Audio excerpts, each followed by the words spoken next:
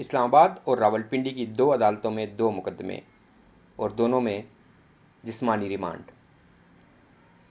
راولپنڈی کی اڈیالہ جیل میں اسلام آباد کی احتساب عدالت کے جج نے نئے توشہ خانہ ریفرنس کی سماعت کی، جس میں عمران خان اور ان کی اہلیہ بشرا بی بی کو پیش کیا گیا۔ قومی احتساب بیورو یا نیب کی ٹیم نے کہا کہ ان کو تفتیش کرنی ہے دونوں ملزمان سے، اس لیے ان کا جسمانی ریمانڈ دیا جائے۔ احتساب عدالت نے عمران خان اور بشرا بی بی کے وکیل صفائی کو سننے کے بعد چھ روزہ جسمانی ریمانڈ منظور کیا۔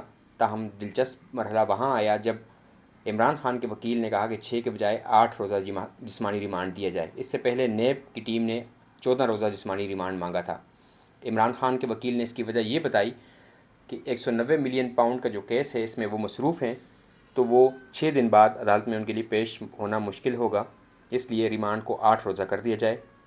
ان نے عدالت کے باہر آ کر میڈیا سے گفتگو میں بھی اس کی تصدیق کی کہ ان کی استدعا پر اسلام آباد کے احتساب عدالت نے جیل کے اندر ٹرائل کرتے ہوئے عمران خان کا اور بشرا بی بی کا اب آٹھ روزہ جسمانی ریمانڈ منظور کیا ہے، جو نیا توشہ خانہ ریفرنس ان کے خلاف بنایا گیا ہے۔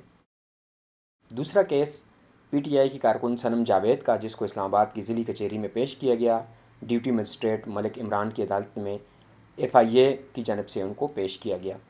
وفاقی تحقیقاتی ایجنسی ایف آئی اے جنہوں نے سائبر کرائم کا ان کے خلاف مقدمہ درج کر رکھا ہے اور ان کو گجرانوالا سے گرفتار کیا گیا تھا۔ ان کی پیشی کے موقع پر سخت سیکیورٹی انتظامات کیے گئے تھے۔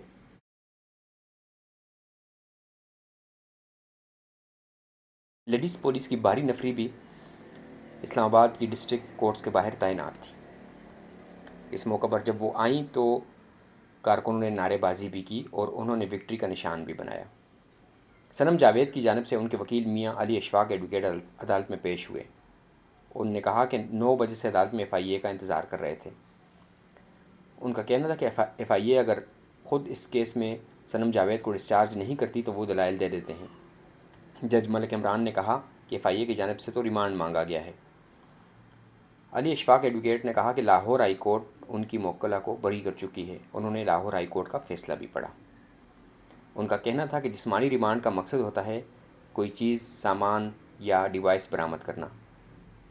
ایف آئی اے کی جانب سے کہا جاتا ہے کہ mobile phone voice matching test کروانے ہیں، جبکہ اس کیس میں اب ایسا کچھ نہیں رہا۔ یہ الزامات ہمیشہ سے لگائے جاتے رہے ہیں۔ ان کا یہ کہنا تھا کہ فوجداری کا بہت چھوٹا سا کیس ہے جس میں وہ عدالت کے سامنے پیش ہوئے ہیں۔ میاں علی اشفاق ایڈوکیٹ نے کہا کہ اس سے قبل ملزمہ پر انسدادی دہشت گردی اور دیگر مقدمات بنائے گئے، جن میں ملزمہ کو ڈسچارج کر دیا گیا۔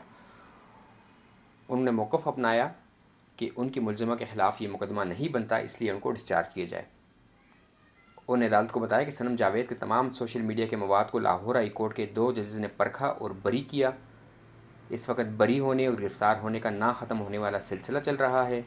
لاہور کے مقدمات سے نکالا گیا تو سرگودا میں نو مئی کے کیسز ڈال دیے گئے۔ سرگودا سے بری ہوئیں تو گجروالا میں گرفتار کر لیا گیا۔ ایڈوکیٹ جنرل پنجاب نے لاہور ہائی کورٹ میں کہا تھا کہ اب سنم جاوید کسی مقدمے میں مطلوب نہیں ہے اور اب پنجاب کے بعد اسلام آباد پولیس یا ایف آئی اے اس کیس کی تفتیش کرے گی کیونکہ پنجاب پولیس کے پاس تمام مقدمات ختم ہو گئے ہیں۔ ان نے موقف اپنایا کہ سنم جاوید پر شوہر کا موبائل ایک سال پہلے استعمال کرنے کا مقدمہ بنا۔ شوہر کو آٹھ ماہ جیل میں رکھا گیا، ان کا فون ریکور کیا گیا، مگر کچھ نہیں ملا۔ اگر میری موکلہ پر فوجداری کا کوئی مقدمہ بنتا ہے تو چپ چاپ عدالت سے چلا جاؤں گا۔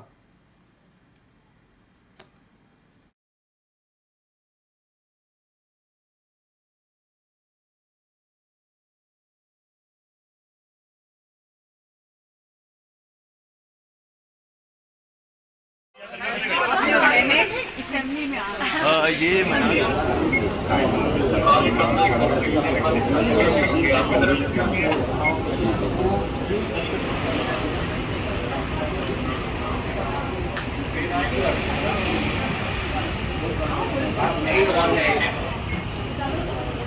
بجے سات بجے چلو بنا لیتے